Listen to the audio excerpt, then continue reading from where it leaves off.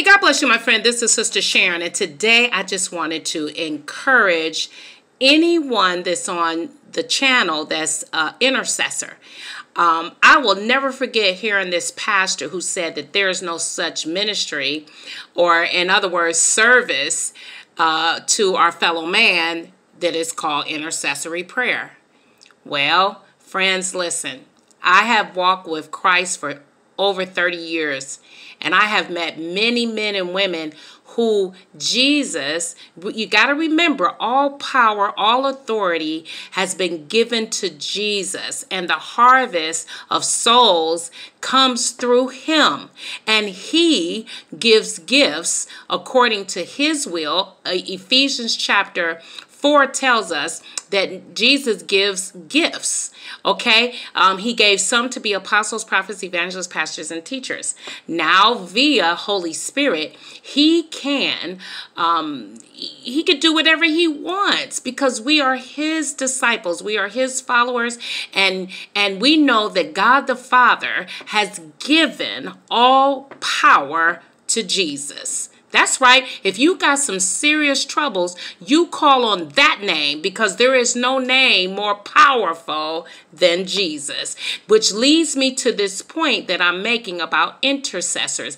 Jesus knows, like all of us should know, prayer is talking to God. And when God puts it in someone's heart to pray for you, to pray about all of the the the the pains, the sufferings, the anxiety and the fears that's all over the earth. We have a global pandemic. And I want to encourage intercessors be refreshed be refreshed, receive fresh oil down in your hearts. I have met many friends. They are like snipers, they are like um, special operations.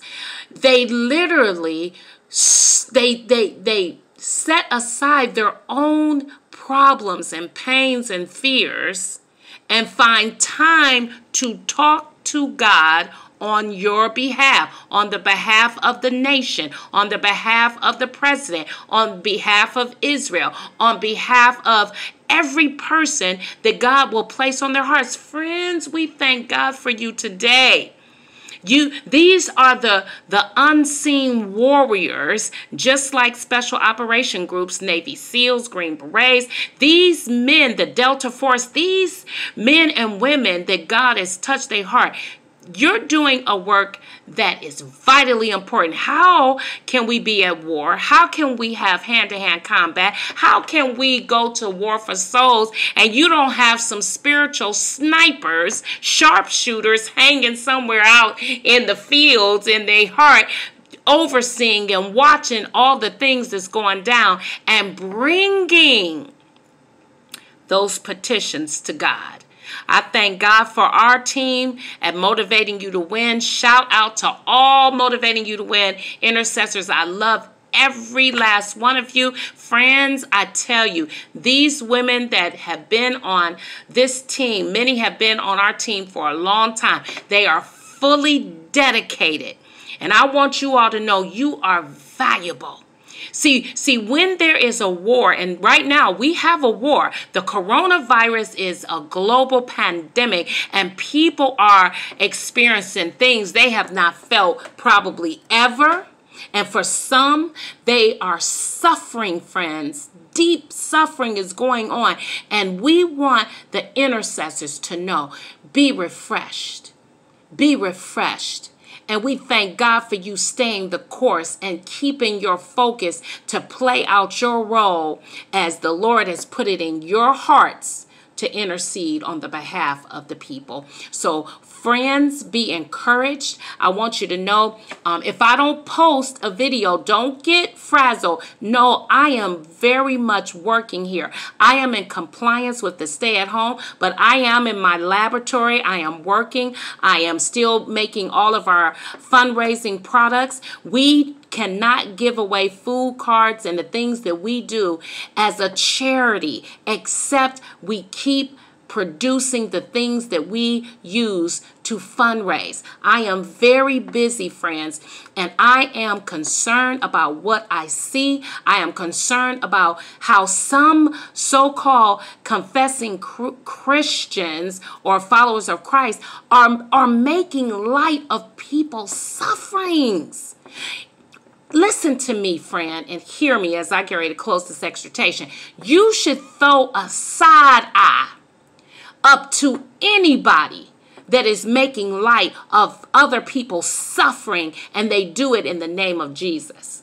You're supposed to be a prophet, a pastor, evangelist, a teacher, whatever you claim you are, but you pretty much bash the suffering of other people. Shh, listen, friends, hear me closely. If that's you, you need to go away and, and put yourself on a spiritual quarantine spiritual isolation and check your heart. How can any of us claim to love God and to see people suffering and whether God is judging the entire globe for you not to have a heart to want to help the suffering? Something wrong with that picture because the Bible said they shall know that we belong to him because one we love one another. And we we love we love in action. That's why my friends, I want to encourage all of you to that can because friends, many people are not being rattled financially. Many people are, but not everyone is feeling financial impact. They're not. So those are the people that we're beseeching to keep donating, keep purchasing um, items from the soap fundraising shop because this is how I load up. I call our ministry truck the miracle truck. I was out this past Sunday and I was not planning to do random acts and to work out of the truck. But friends, let me assure you, the suffering is real. And I want those of you that can keep sending those gift cards. We, oh, friends, I thank every person that's been sending the food chain gift cards. The people are so blessed. Yes, you have to do takeout. And those of you who can do gift cards at Walmart, Target, the national discount department stores, Dollar Tree, Dollar General, Family Dollar, I want y'all Go get those gift cards. Send them to our seven locations. We have seven locations where we are taking those gift cards, and these precious sisters are taking them straight to the streets. Together, we can do it. We can do it. Keep sending those donations, friends. We are taking them straight to the people. Get involved, and the intercessors, you pray for our intercessors. I want every person, if you watch this video, pray for America's intercessors. They are our sharpshooters. They are our spiritual snipers. That they stay refreshed, they stay focused, and they stay renewed in their minds. They are valuable. And I want you all to ponder this before I close this exhortation do you actually think we would have come this far as a people in God's earth if there were not intercessors? People who earnestly stand before the throne of grace, interceding for the people and the problems. Oh, friends, we love you, intercessors. I love every last one of you that's on our team at Motivating You to Win. You are valuable and we love you. Everyone, pray for our intercessors. Not just motivating you to win's intercessors, but every intercessor, every sniper. That's what they are, friends. These are some war machines. Because let me tell you this when a sniper puts his eye on his lens, he could be on that target for hours upon hours upon hours. Intercessors are like that. They stay, they keep on beseeching God. They keep asking God, God, have mercy. God, have mercy. God, help them. God, turn that thing back. God, turn it around. God, do it. This is the work of a sniper. They are like laser focused on your behalf. And we thank God for you. Be encouraged, soldiers. Chin up. Carry on. Be strong. For the work you do is not in vain. We love you, my friends. Till next time, God bless.